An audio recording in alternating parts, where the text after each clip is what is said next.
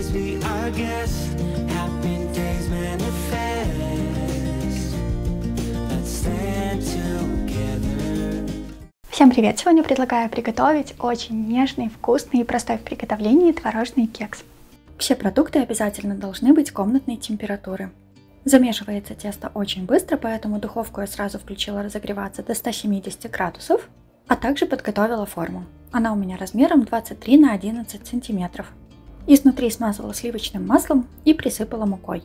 Также можно просто застелить пергаментом.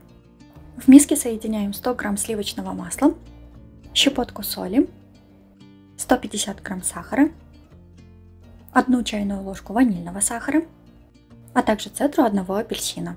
У меня сухая, поэтому добавляю одну чайную ложку. Также можно заменить на лимонную цедру, а если не любите цитрусы, то просто исключайте. Сначала немного все перемешиваю лопаткой, а затем взбиваю миксером буквально несколько минут. Кстати, за основу я взяла свои бесдрожжевые творожные куличи. Если вы их готовили и пробовали, то такой кекс вам точно понравится.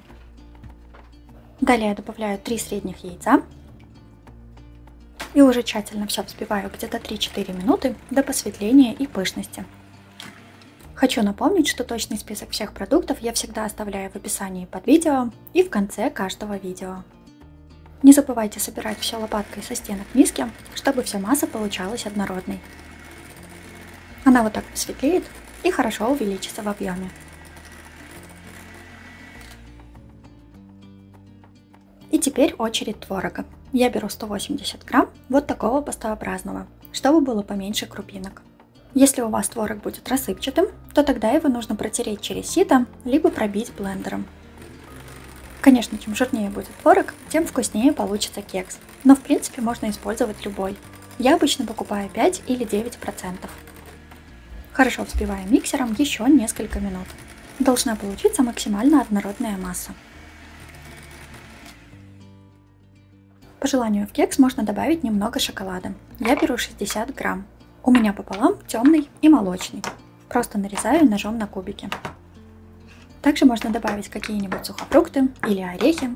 Прекрасно подойдет, например, изюм или кусочки чернослива.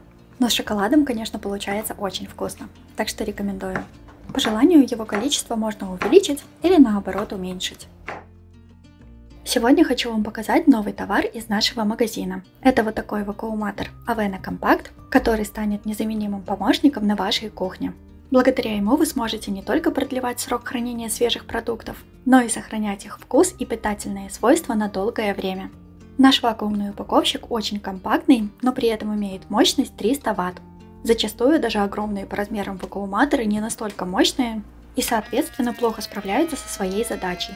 Наш маленький, да удаленький, и пользоваться им одно удовольствие. Все, что нужно сделать, это положить продукты в пакет и нажать одну кнопку.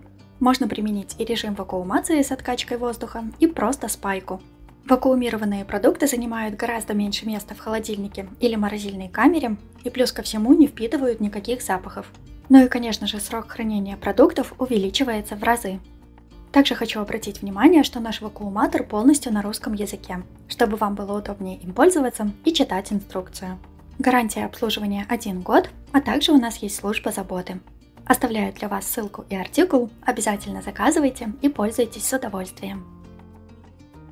Отдельно соединяем 200 грамм муки и полторы чайные ложки разрыхлителя. В несколько приемов просеиваем и перемешиваем на низкой скорости миксера, если она имеется, либо уже вручную лопаткой или венчиком. Ни в коем случае нельзя долго перемешивать, буквально до однородного состояния. Если перемешивать будете слишком долго, то в итоге кекс получится более сухим и плотным. А еще обязательно попробуйте кокосовый кекс. Он получается очень ароматным, нежным, мягким, а готовится проще простого. В описании под видео оставлю ссылку. Буквально 5 минут и наше тесто готово. По консистенции оно получается вот таким кремовым. Добавляем кусочки шоколада и еще раз немного перемешиваем. Перекладываем тесто в форму и распределяем ровным слоем. Конечно, можно выпекать и маленькие порционные кексы.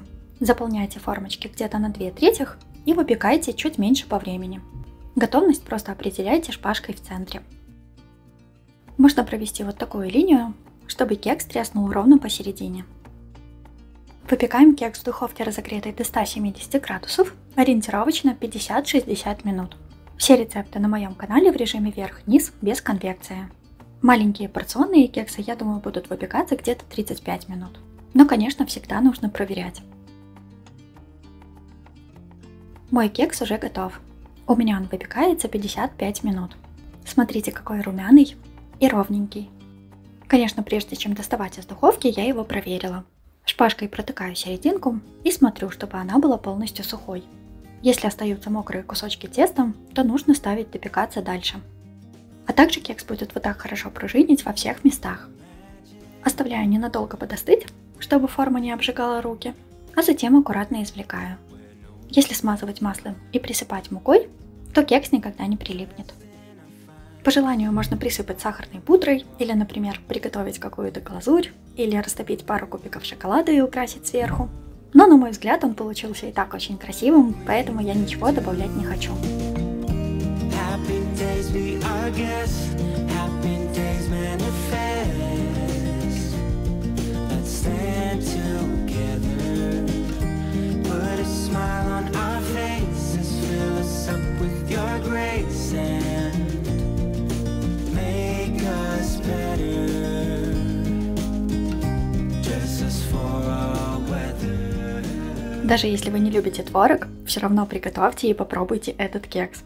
Он получается супер нежным, очень влажным, ароматным. Кусочек буквально растворяется во рту. Тут еще есть и аромат ванили, и апельсина, и такой едва уловимый вкус и аромат творога. С кусочками шоколада, конечно, получается просто изумительно. С чашкой горячего чая, кофе или молока этот кекс будет просто идеальным завтраком. Творога здесь такое же количество, как и муки, поэтому получается еще и полезно. По сладости он как раз умеренный, но сладкоежки могут взять и побольше сахара. Кекс прекрасно хранится и очень долго остается свежим. Но если его немножко подогреть, то он будет точно таким же, как сразу после выпечки. Также его смело можно замораживать. Уверена, что вам такой кекс тоже понравится, поэтому обязательно готовьте, пробуйте и делитесь своими отзывами в комментариях. Ну а ваши фотоотчеты я буду, как всегда, ждать в своей группе ВКонтакте или в Инстаграме. Ссылки на все свои соцсети я всегда оставляю в описании под каждым видео. Мягусик. Мягенький. Шоколадненький. М-м-м. Такой, как будто холодненький чуть-чуть, да, того, что влажный. Хотя он при комнатной температуре стоял. С молочком. Угу. Шоколада. Красавчик. М-м-м. Очень вкусно можно съесть. Мгм. По сути, там творога столько же, сколько и муки. По-моему, идеально. Кексик. Можно маленький сделать. Вот так, бесподобно. Мгм. М-м. Удачный эксперимент. Ням. Надеюсь, что вам такой кекс тоже понравится, поэтому обязательно готовьте, пробуйте и делитесь своими отзывами. На сегодня у меня все. Благодарю вас за просмотр и желаю всем приятного аппетита.